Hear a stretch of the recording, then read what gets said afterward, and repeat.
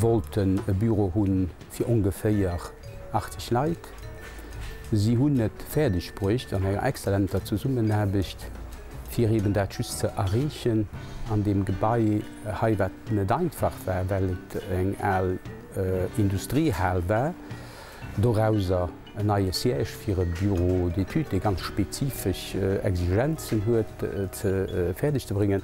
Eng Gros Kommunikationsmediichkeet ze losse Weltmach an eisen alle Büroen leider net täten.